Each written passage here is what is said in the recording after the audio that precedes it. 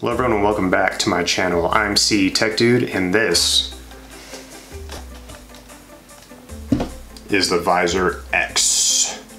The Visor X is a headset for your phone that uses mirrors, science, and maybe a little magic to magnify your phone screen and make it look like a large screen TV. My friends at Ximmerse sent me this product so I could give you my honest opinion on it, and here it is. To start things off, let's go over the unboxing experience. In the box you get the headset, an instruction manual, and a rather large cleaning cloth.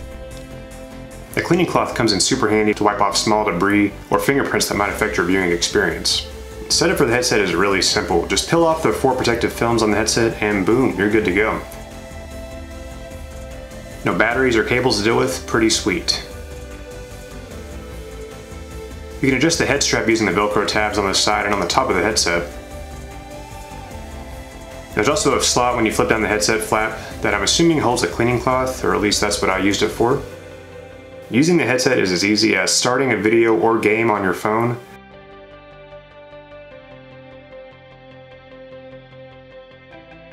flipping down the front flap and sliding your phone into the headset, and then flipping the lens down. That's all there is to it. I was able to fit my Galaxy Note 9 with a case easily, although the screen was just a little bit cut off on the sides, which honestly wasn't a big deal. The Note 9 is a big phone though, so if you have a smaller device, you probably will not have any problems.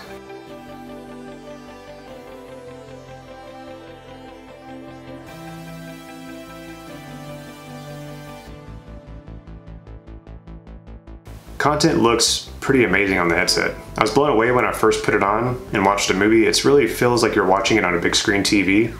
It's pretty pretty crazy. I didn't notice any loss in clarity or resolution when I did this. And I like that when you're watching content, you're still aware of your surroundings, unlike when you're using a VR headset and you're not sure what's going on around you because you're in the dark. Now let's talk about where this headset really shines, and that's gaming. Pair this headset running Fortnite Mobile with some wireless headphones and a controller, and who even needs a game console? Other games that support controller input work well and look awesome as well.